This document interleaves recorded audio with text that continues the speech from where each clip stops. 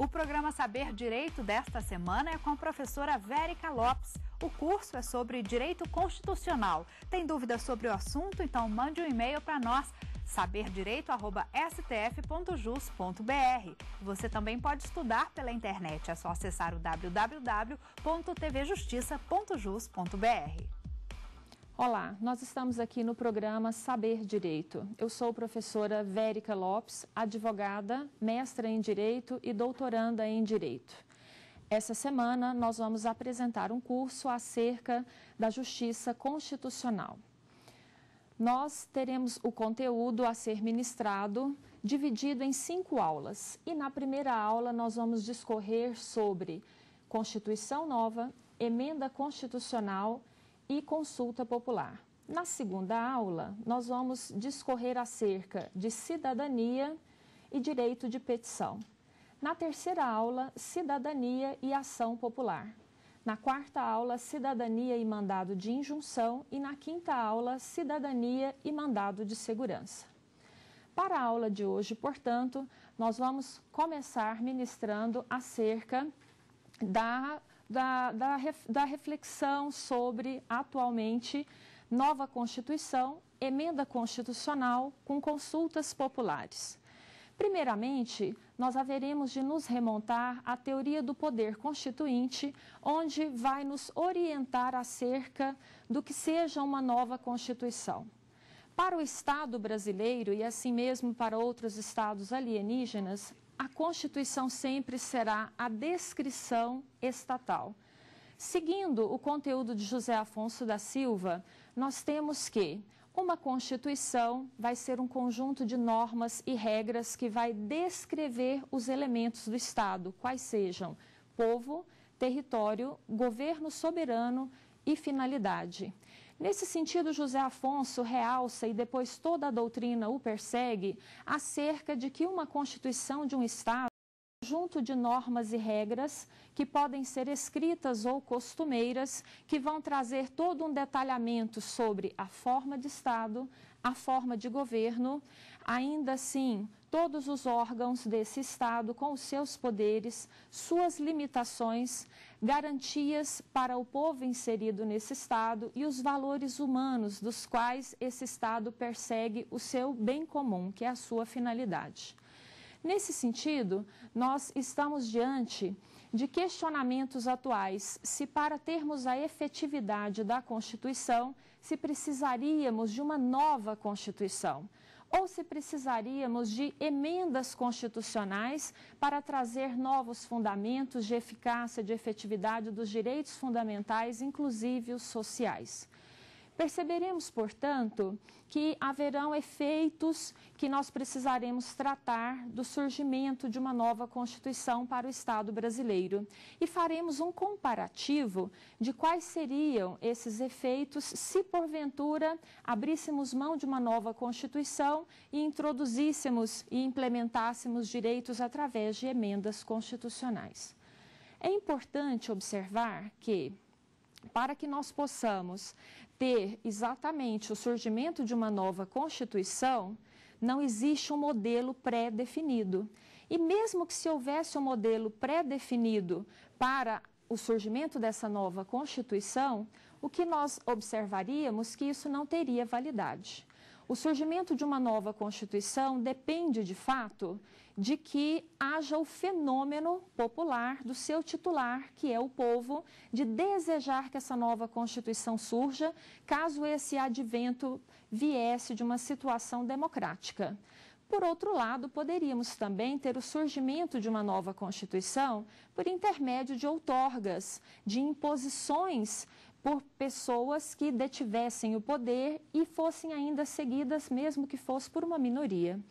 Para que tenhamos essas ocorrências, a teoria do poder constituinte nos orienta que uma nova Constituição pode então ter uma formação proveniente de movimentos de outorga a exemplo da nossa Constituição de 1824, tivemos também situação semelhante na Constituição de 1937 e ainda fenômenos no golpe militar que, de 64, que veio com o ato institucional número 1 de 64.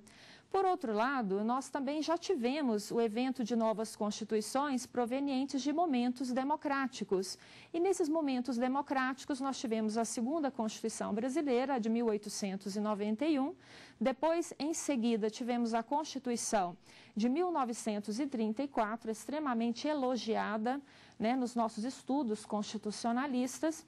Em seguida, nós tivemos o advento da Constituição de 1946, que também veio por movimento popular e democrático, e, por fim, a nossa atual Constituição de 1988, proveniente de uma Assembleia Nacional Constituinte. É importante realçar que o surgimento de uma nova Constituição, vindo do fenômeno do poder constituinte, jamais haverá de ser extremamente planejado. Isso vai fluir dependendo do momento histórico que o povo estiver passando e das necessidades também que o próprio Estado demonstrar na sua evolução jurídica e social. Vamos perceber, portanto, que há algo a ser observado que é o surgimento de uma nova Constituição vai acarretar a revogação total da Constituição anterior. Porque se eu afirmei que uma Constituição é a descrição normativa do Estado, o que nós vamos perceber é que, ao surgir uma nova Constituição, o Estado passa a ter uma nova descrição. E ao ter uma nova descrição, não coaduna em possuir duas ou mais descrições. Nós poderemos ter aqui alguma inspiração em textos anteriores, mas nós não estaremos diante da possibilidade de recepção do texto anterior. Demonstra, portanto, uma situação de que novo texto constitucional possa ser melhor ou pior dependendo da ótica do seu observador. E um novo texto constitucional, portanto, poderá trazer ou não direitos que a nossa civilização, a nossa sociedade já possuam ou já, estejam, eh, já esteja acostumada a esses direitos. O que vamos observar perfeitamente é que a teoria do poder constituinte demonstra que uma nova Constituição pode tudo, tanto trazer novos direitos como suprimir direitos já existentes. E isso haverá de ser observado por todo o cenário jurídico, para que não se possa, portanto, no mínimo, retirar do próprio povo a sua titularidade enquanto detentor do poder constituinte. Nesse sentido, o advento de uma nova Constituição vai demonstrar também reflexos nas leis infraconstitucionais já existentes no Estado brasileiro, porque nós precisamos imaginar que a nova Constituição vai operar a revogação total da Constituição anterior. E nesse sentido, as leis infraconstitucionais já existentes no Estado ficarão sem base de validade.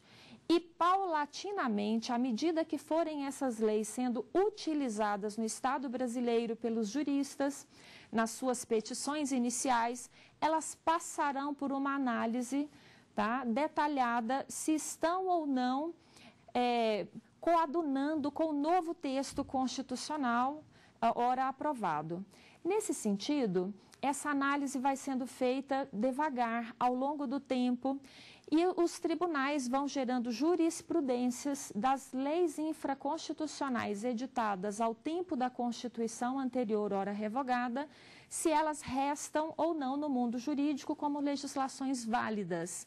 E, de contrapartida, se elas coadunarem com o novo texto, estarão elas recepcionadas. Se não coadunarem com o novo texto, estarão revogadas. Essa recepção e essa revogação pode ser parcial. Percebam, portanto, que o advento de uma nova Constituição vai trazer um impacto muito grande na existência do texto constitucional anterior, bem como na existência das legislações infraconstitucionais editadas ao tempo da Constituição anterior. Pois bem, direitos fundamentais, inclusive os direitos sociais, podem, portanto, surgir ou desaparecer diante de uma nova Constituição. E o que nós vamos perceber é que o implemento desses direitos pode ser aperfeiçoado também, não só pela edição de uma nova Constituição, e que possivelmente seria mais adequado num ambiente democrático, também por intermédio aí de edições de emendas constitucionais previamente planejadas na rigidez da Constituição atual. Nesse sentido, vamos agora abordar acerca então das emendas constitucionais. As emendas constitucionais já estão planejadas dentro do artigo 60 da nossa Constituição. O que nós vamos perceber? A nossa Constituição, ela tem uma classificação muito evoluída de ser, embora escrita, uma norma também, embora formal, externada como o único documento a ser solene no Estado brasileiro, mas que dentro desse texto veio expresso a rigidez de proteção a todo o texto de modificações por intermédio das emendas constitucionais. Nós vamos observar que o artigo 60, portanto, demonstra limitações de momentos que a Constituição não pode ser modificada, chamadas na doutrina de limitações circunstanciais. Portanto, a nossa Constituição não pode ser modificada na vigência de estado de sítio, de estado de defesa ou de intervenção federal. Portanto, se tivermos algum decreto é, instalando esses três estados de exceção, ninguém no Estado brasileiro, mesmo que o decreto abranja só um setor do nosso país, ninguém no Estado brasileiro poderá ser surpreendido por uma nova emenda constitucional. Isso é uma garantia riquíssima descrita no nosso, no nosso texto constitucional, embora esteja sendo pouco utilizada. Por outro lado, o artigo 60 ainda trouxe restrições formais, principalmente no que tange aos legitimados a fazerem a apresentação do projeto de emenda constitucional. Então, fazer uma nova emenda constitucional requer seguir a rigidez que está descrita no artigo 60. O que nós vamos perceber é que a iniciativa de um projeto de emenda constitucional, que trata-se de uma PEC, né, proposta ou projeto de emenda constitucional, pode se dar Primeiro, conforme artigo 60, inciso 1, 2 e 3. Primeiramente, pelo presidente da República, que sozinho pode apresentar esse projeto de emenda constitucional. No segundo momento, nós temos previsão constitucional de que um terço do Senado ou um terço da Câmara podem assinar também o projeto de emenda constitucional. Não é conjuntamente, é separadamente. E vamos perceber também uma outra modalidade autorizada pela Constituição de que esse projeto advenha das assembleias legislativas. Porém, é extremamente complexo. Nós não, no momento, não temos nenhuma emenda aprovada por essa modalidade, qual seja, de que o projeto seja, portanto, é, de proveniência das assembleias, onde mais da metade das assembleias legislativas haverão de se manifestar por maioria simples dos seus membros. O projeto vai ter que ficar itinerante dentro dos Estados-membros, para que tenha, então, esse quórum e a validade. Uma vez estando diante tão somente do projeto, ele haverá de então passar pela deliberação parlamentar. Agora, curioso observar que a emenda constitucional não possui deliberação do executivo, então somente vai passar por análises legislativas dos nossos representantes que estão autorizados pelo poder constituinte derivado reformador de emenda. Esses parlamentares, portanto, haverão de analisar este texto, onde ele vai passar, lógico, estou aqui fazendo uma explanação muito breve, tá? Pelas comissões de Constituição e Justiça e pelas comissões temáticas. E, nesse sentido, aprimorado o texto, passará então por uma votação, e essa votação é extremamente complexa, duas vezes em cada casa, num quórum mínimo de três quintos dos seus membros. Então, um projeto de emenda constitucional só pode se tornar emenda uma vez se aprovado em quatro turnos. E ainda poderemos ter outros turnos se porventura as comissões apresentarem emendas, onde cada trecho do seu texto haverá de ser aprovado por esses quatro turnos. Pois bem, o que nós observamos é que não é simples emendar a Constituição no seu aspecto procedimental, mas ainda há uma previsão constitucional de que a Constituição ela estará protegida em determinados temas, em determinados assuntos, que só, somente poderão ser objeto de mudança se for numa nova Constituição porque o poder constituinte originário autoriza que na nova Constituição tenhamos essas mudanças radicais.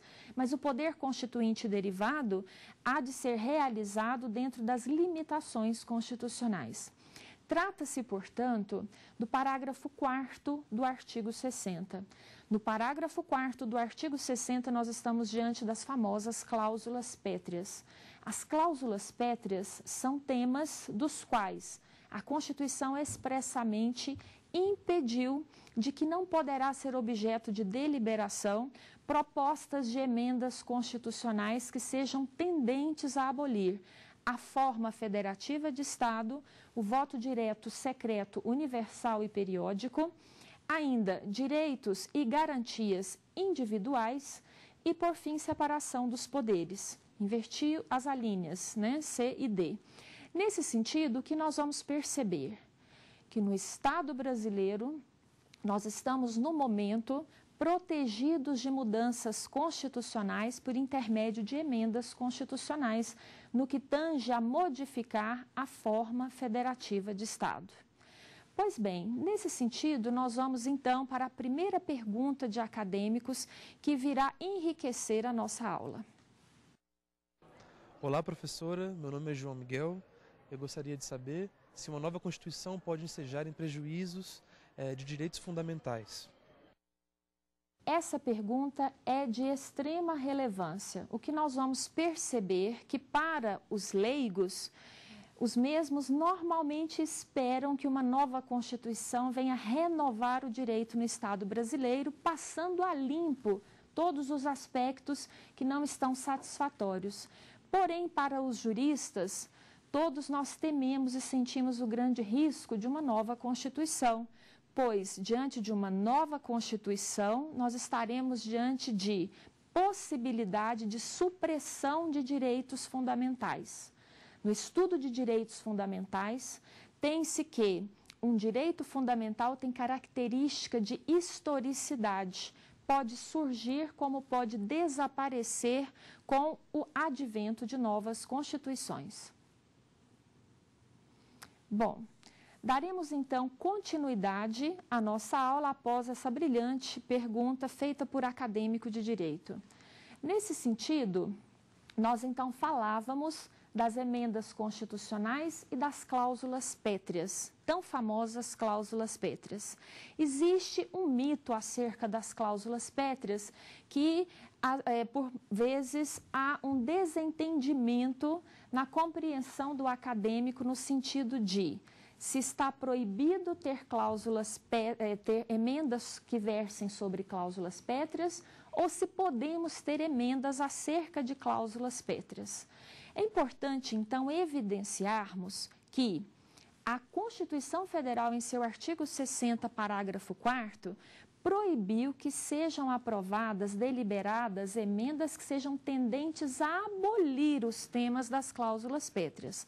Mas não há ali uma proibição que se exista tá, é, alguma emenda constitucional versando sobre os temas de cláusulas pétreas.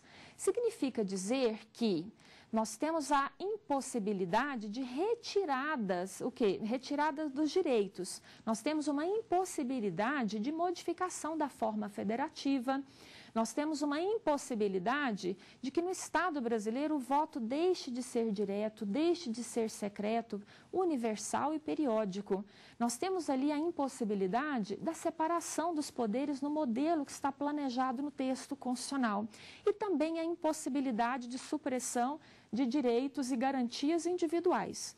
Mas não temos ali a proibição de que surjam novas previsões de direitos que porventura possam melhorar a aplicação da justiça no Estado brasileiro. Significa dizer, portanto, que está autorizado que o Congresso Nacional venha aprovar emendas constitucionais acerca dos assuntos das cláusulas pétreas. E nós tivemos duas evidentes modificações no passado que podem ser aqui realçadas.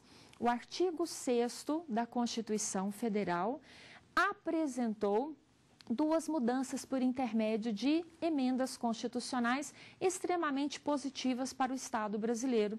Nós tivemos a previsão da introdução como direito social à moradia e também, recentemente, à alimentação. Pois bem, nesse sentido, restou no cenário atual uma discussão para termos a efetividade dos direitos constitucionais. Realmente precisaremos de uma nova Constituição? Ou precisaremos de emendas constitucionais? E, para termos uma nova Constituição ou emendas constitucionais, precisamos da consulta popular? Bem, a consulta popular é uma demonstração de que em nosso Estado nós temos previsões de soberania popular evidenciadas. Trata-se de uma riqueza que, para outros estados, isso pode ser que não exista e nem aconteça, mas como nós estamos acostumados a este ambiente, não nos surpreende que estejamos diante de um direito tão rico. No nosso estado, realmente é possível de que a população possa participar, fazendo então o que?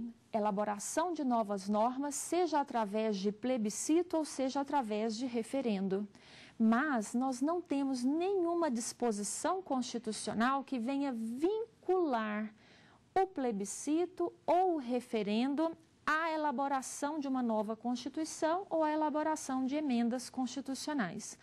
Mas o nosso texto, ele vai permitir que a população desejando que ela possa então provocar essas consultas populares através de leis de iniciativas populares. Por outro lado, também poderá o Congresso Nacional fazer esta provocação planejada previamente, seja numa emenda constitucional ou seja dentro de legislações ordinárias. O que importa realçar é que, para que tenhamos consultas populares, uma vez prevista a consulta, seja em emenda ou em lei, que seja ela depois agendada por decreto legislativo do Congresso Nacional. Portanto, o que nós vamos perceber que o anseio popular de consultas populares pode ser bastante promissor, mas não podemos esquecer dos custos que podem advir da realização dessas consultas junto à Justiça Eleitoral. O que nós vamos então observar é que as consultas populares poderão demonstrar uma maior efetividade da participação do povo em nosso Estado. E ainda de que nesse Estado o novo texto de direito fundamental, seja de realização de direitos sociais, possa vir de planejamento do povo. Mas qual seria a diferença entre referendo e plebiscito? A diferença entre essas duas modalidades é muito simples. Na verdade, o que nós temos? Quando a legislação já está elaborada, previamente planejada com a introdução de temas importantes e relevantes para a sociedade, esta legislação, dentro dela, já planeja que o povo seja consultado a posteriori, nós estaremos aí diante de uma norma já previamente elaborada e que dentro dela há uma previsão em seu artigo de que o povo haverá de ser consultado para se irá ou não autorizar esse texto, ou seja, referendá-lo. Nesse sentido, haverá da Justiça Eleitoral, portanto, fazer o quê? O agendamento dessa consulta provocado por decreto legislativo próprio e essa consulta será chamada de referendo. Então, primeiro nós teremos a norma já elaborada pelo poder competente, que dentro dessa norma há o plano de que se realize a consulta popular para validá-la ou não. Se o povo aprovar nas urnas, essa norma então será válida.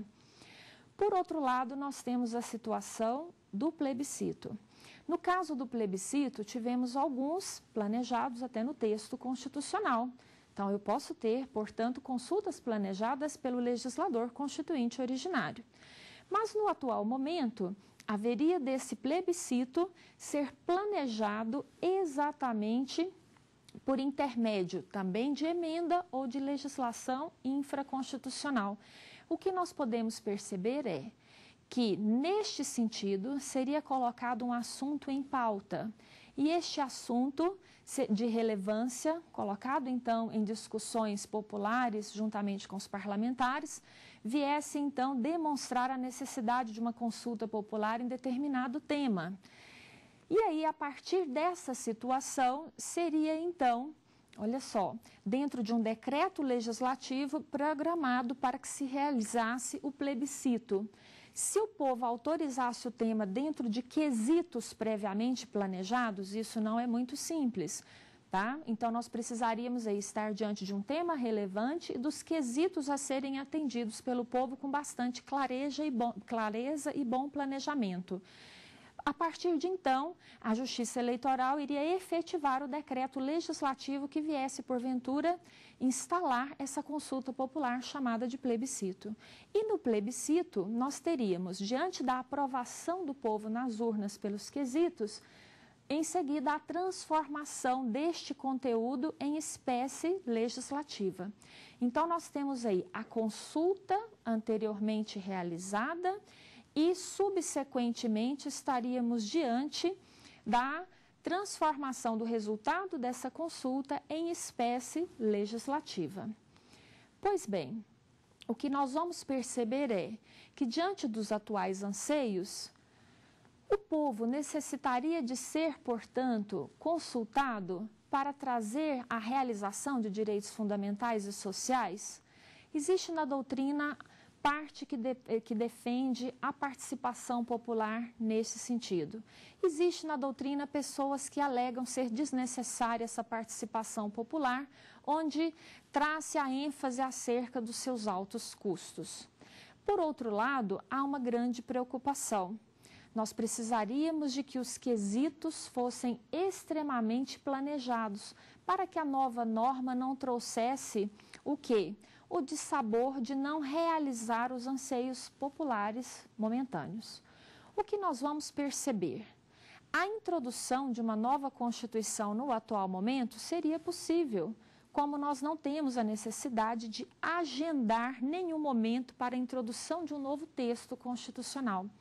Mas isso demandaria planejamento de, conforme aconteceu para a Constituição de 88, de uma emenda constitucional dentro do ambiente democrático, instalar uma Assembleia Nacional Constituinte, onde seria trabalhado o plano do novo texto constitucional. Nesse contexto, já observaríamos que haveria possibilidade da participação popular em audiências públicas. É um mecanismo do povo trazer a realização dos seus anseios.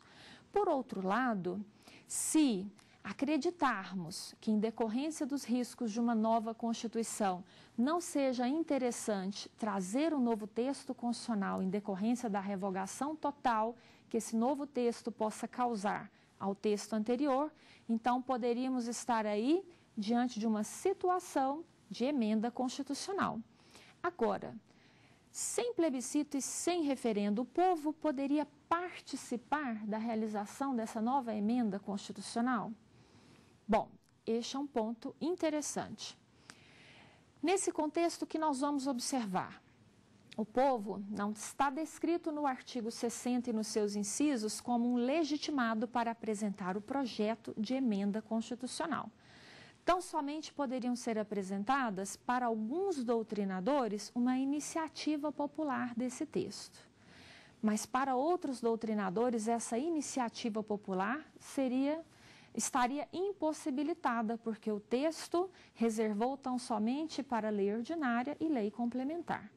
Mas o que seria importante aqui percebermos é que os representantes do povo que estão no Congresso Nacional, por ele foram eleitos e os seus gabinetes estão abertos para consultas. E nesse sentido, é, conjunta ou separadamente, poderíamos ter a materialização dos anseios populares no sentido de trazer o plano do texto da nova emenda constitucional, e seja por intermédio da Presidência da República, seja por intermédio do Senado Federal, ou seja por intermédio da Câmara dos Deputados, a vontade popular poderia ser materializada num projeto de emenda constitucional. Não realcei aqui por proveniente iniciativa das assembleias legislativas, tendo em vista a grande dificuldade de realização deste projeto de emenda advindo das assembleias legislativas. Mas há de se realçar que o advento das emendas constitucionais não podem afrontar o processo legislativo próprio, descrito nas limitações procedimentais, não poderá também afrontar as cláusulas pétreas, porque nós estaríamos aí diante das possíveis, em tese, emendas constitucionais eivadas de inconstitucionalidade. E nesse contexto, uma emenda constitucional eivada de inconstitucionalidade, seja formal ou material, estará suscetível de controle de constitucionalidade. E esse controle de constitucionalidade poderá vir tanto do particular prejudicado individualmente na modalidade difusa ou incidente, tanto, quanto também do controle concentrado provocado pelos legitimados do artigo 103 da Constituição Federal. Bom, no que tange a este tópico, nós vamos perceber que nós não teremos uma resposta perfeita se o melhor caminho seja uma nova Constituição, emendas constitucionais e com a participação popular. Vamos, portanto, agora para a próxima pergunta dos acadêmicos. Meu nome é Mônica Duarte Cerejo. Eu gostaria de saber se uma emenda constitucional pode abolir direitos fundamentais. Bom, essa pergunta é de extrema relevância e ela pode mascarar uma problemática. O que nós vamos perceber é que a Constituição Federal, como nós já dissemos, ela não vai permitir que sejam votadas emendas constitucionais que apresentem violação às cláusulas pétreas, que no que tange à pergunta, os direitos fundamentais inserem direitos individuais e também inserem os direitos coletivos. Melhor explicando, se porventura for editada uma emenda constitucional dessa natureza, abolindo direitos fundamentais, ela estará eivada de inconstitucionalidade. Primeiro reflexo, nós precisaríamos cumprir essa emenda constitucional na sua grande previsão. Por que, que nós precisaríamos cumprir essa emenda constitucional em tese eivada de inconstitucionalidade? Porque nós temos um princípio constitucional que assim determina que todas as normas editadas pelo poder competente, até que sejam provadas inconstitucionais judicialmente, haverão de ser cumpridas. Este é o princípio de presunção de constitucionalidade das leis e dos atos normativos. O que nós vamos observar é o ideal é que durante o processo legislativo da emenda constitucional nós tenhamos um controle de constitucionalidade preventivo para identificar no projeto esses vícios e que este, então, projeto seja enviado ao arquivo, pode ser no momento de análise pela Comissão de Constituição e Justiça ou pode ser, inclusive, até mesmo no plenário, quando não atingir o quórum necessário de três quintos. Concluindo, o que nós vamos perceber, um projeto de emenda constitucional ou uma nova emenda constitucional não pode abolir direitos fundamentais. Pois bem, para que nós então possamos analisar a aula de hoje a sua importância, primeiramente, gostaria aqui de evidenciar que ela está inserida em uma aula intitulada de Justiça Constitucional e Cidadania não são em todos os estados do mundo que nós temos essa participação do povo valorizada para que se possa trazer uma nova Constituição. Não são em todos os estados do mundo que a Constituição existente pode sofrer emendas previamente planejadas. O que nós observamos que também não são em todos os estados do mundo que o povo pode participar em consultas populares. Enfim, Parece que, como estamos acostumados a esse estado, pensamos que isso é muito natural e comum de acontecer dentro de um país. E não. Nós temos uma riqueza que é estar dentro de um Estado democrático de direito. E dentro de um Estado democrático de direito, há de se enfatizar a figura do povo como titular do poder constituinte. E nós já possuímos todos os mecanismos para essa valorização. O que nós precisamos é encontrar mecanismos de controle para que possamos realizar com efetividade os direitos já planejados. E é o que nós vamos estudar ao longo de toda a semana onde eu fiz o que? A seleção de algumas participações populares em meios judiciais e também a participação popular em meio administrativo, de maneira a buscar solucionar a efetividade dos direitos fundamentais, seja na modalidade individual ou seja na modalidade coletiva.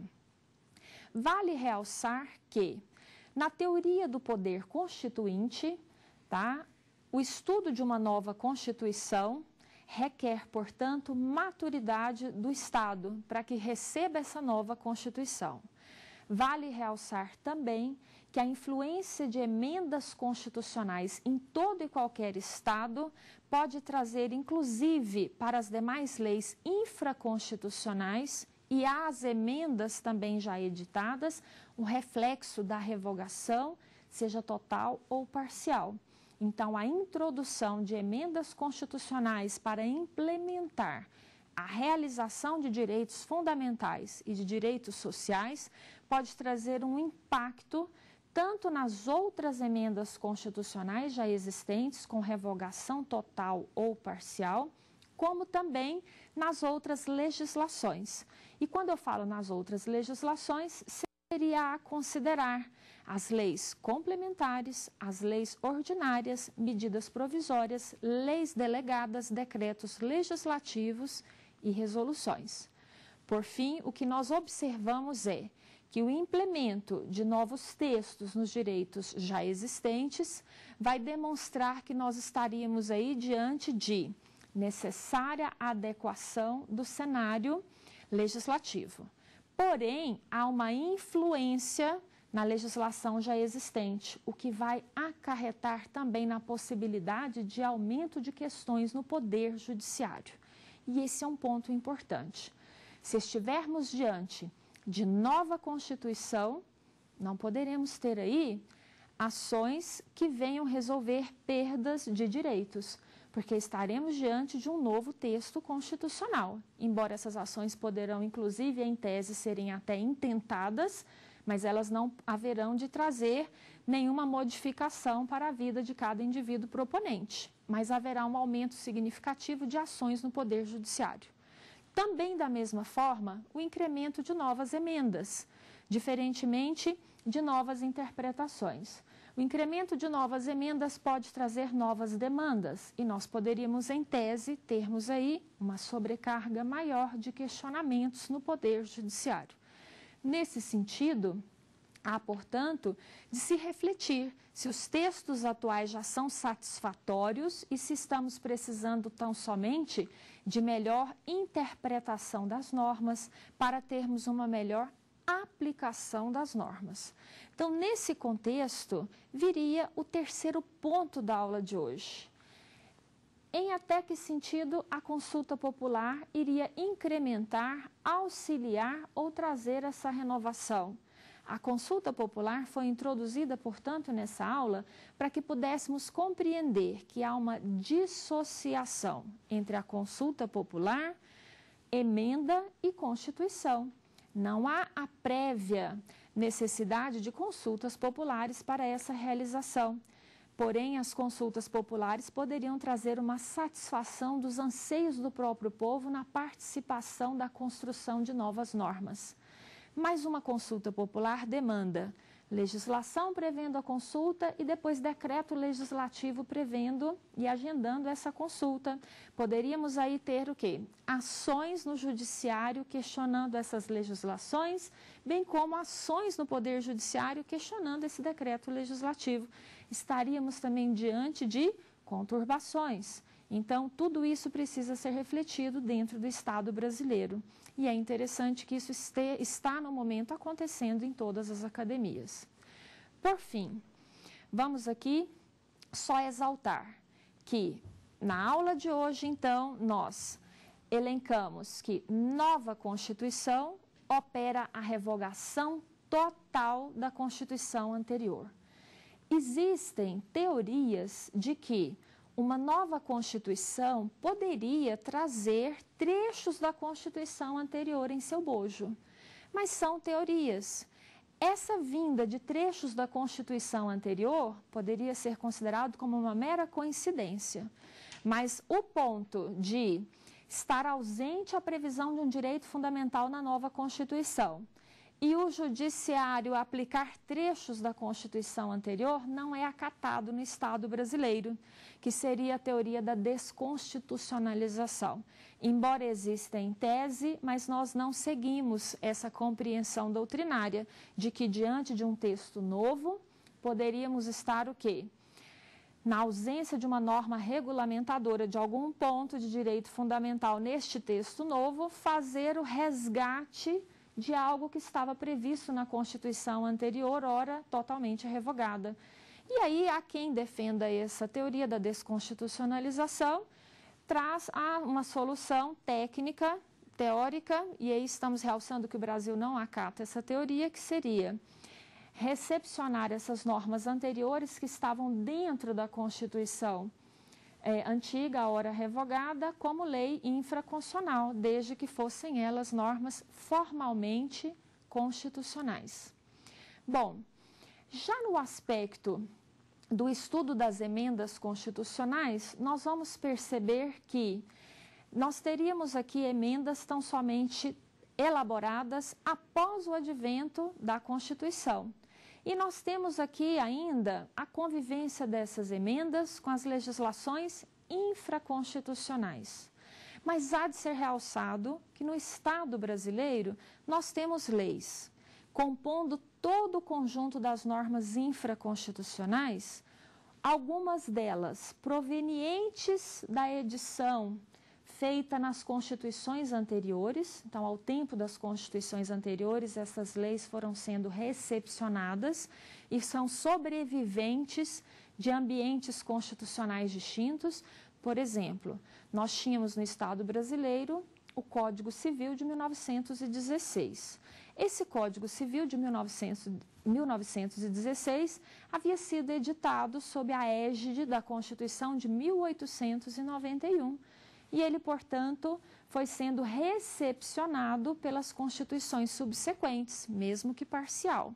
Então, ele sobreviveu à Constituição de 1934, sobreviveu à Constituição de 1937, depois à Constituição de 1946, 67, a Emenda Constitucional de 69, até chegar no ambiente da Constituição de 1988, mesmo que com recepção parcial.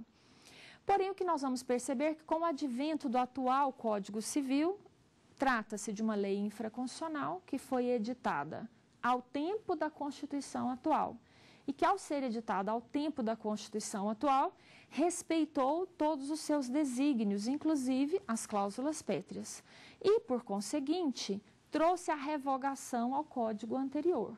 Então, nós temos aí uma relação do advento da Constituição atual que ocasionou recepção parcial ao Código Civil de 16 e que depois, com o advento do novo Código Civil, que é o atual que nós utilizamos, esse código, portanto, retirou do cenário a lei anteriormente recepcionada pela Constituição de 88, que era o Código anterior. Essa relação entre as leis vai realmente trazer reflexos nos processos no Poder Judiciário. Então, no Poder Judiciário, vão surgir as teses da revogação entre Constituição e Constituição, a revogação entre Constituição nova e leis infraconstitucionais editadas ao tempo da Constituição anterior e ainda a inconstitucionalidade de leis infraconstitucionais editadas ao tempo da atual Constituição frente ao texto da atual Constituição e cabe, portanto, aos tribunais a árdua tarefa de fazer a análise da teoria da revogação, da teoria da recepção e da teoria da inconstitucionalidade. Vamos agora à terceira e última pergunta da aula de hoje. Olá, professora. Meu nome é Ana Lídia Martins. e eu gostaria de saber qual a diferença entre plebiscito e referendo e bem como a necessidade desses para mudar a Constituição. Essa é a questão chave da aula de hoje. Primeiramente, qual seria a diferença? Nós temos na teoria a modalidade plebiscito como gênero. E depois a doutrina vem e separa esse plebiscito gênero em plebiscito propriamente dito e referendo. O plebiscito e o referendo, tá? Estou me referindo, portanto, ao propriamente dito e ao referendo. Nós temos aí o que? Ambos vão permitir que o povo, na sua soberania popular, possa apresentar os seus anseios e realizá-los dentro de novas legislações. O que nós vamos perceber é que, na Constituição Federal, nós tivemos aí previsão de realização de plebiscito decorrente, inclusive, do poder constituinte originário, que era para que se pudesse questionar aos indivíduos no Estado brasileiro sobre a forma de governo e o sistema de governo. Esse plebiscito foi previsto no ato das disposições constitucionais transitórias e já se exauriu no tempo, onde o povo, na consulta popular, preferiu inclusive manter o modelo atual. Só que nós vamos observar que, quando falamos de plebiscito, nós teremos aí a situação de uma consulta prévia ao povo, e esta consulta prévia ao povo vai trazer a, o delineamento da nova norma que é, na verdade, esperada por esse povo em algum tema relevante, e em seguida haverá a materialização da resposta da consulta popular dentro de uma nova legislação. Essa nova legislação pode ser uma emenda constitucional, como pode ser uma lei ordinária. Só que é importante realçar que entre essa situação de realizar a consulta e também a confecção da nova lei, haveremos de delimitar as perguntas adequadas que sejam feitas a esse povo. E o agendamento dessa pergunta, o agendamento dessa pergunta haverá de ser feito por um decreto legislativo do Congresso Nacional. E aí quem vai implementar a consulta é a Justiça Eleitoral. Agora, de contrapartida, o referendo vai ter a sutil diferença. Nós teremos a legislação já previamente elaborada pelo Congresso Nacional. Dentro dela haverá o artigo falando da necessidade da consulta popular, e para que esse artigo seja válido, nós vamos perceber que haverá de ter a consulta popular na modalidade referendo. E aí o Congresso Nacional para realizar de fato o referendo, é, planeja e agenda esse evento no decreto legislativo que vai ser implementado pela Justiça Eleitoral, que é o exemplo da consulta que tivemos sobre o desarmamento no Estado brasileiro. Bom, então agora nós vamos para o resumo breve da aula de hoje. Na aula de hoje, nós enfatizamos a possibilidade da realização da cidadania, seja pelo advento de uma nova Constituição, pelo advento ou de emendas constitucionais, tendo ou não a participação popular em consultas populares, na modalidade referendo ou plebiscito. Vimos dois pontos importantes sobre novas constituições: que o surgimento de uma nova Constituição não está planejado dentro da Constituição atual e que, ainda se tivesse planejado, isso não teria validade. Então, nesse sentido, o que nós vamos perceber? Que o advento de nova Constituição vai operar a completa revogação da Constituição anterior. E isso demandará que o novo texto seja melhor do que o texto atual, o que nós não temos como garantir a partir do texto atual. E também que, durante toda a aula, vimos que novos direitos e implementos dos direitos fundamentais poderão surgir através de emendas constitucionais, aprimorando e aparando a atual Constituição, mas que a elaboração de emendas constitucionais requer a análise das limitações constitucionais e das cláusulas pétreas.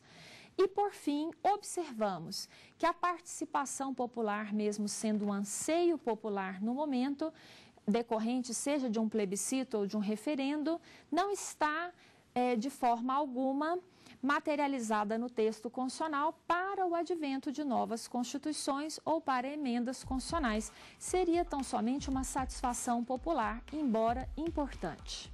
Obrigada. Na próxima aula, nós veremos, portanto, cidadania e direito de petição.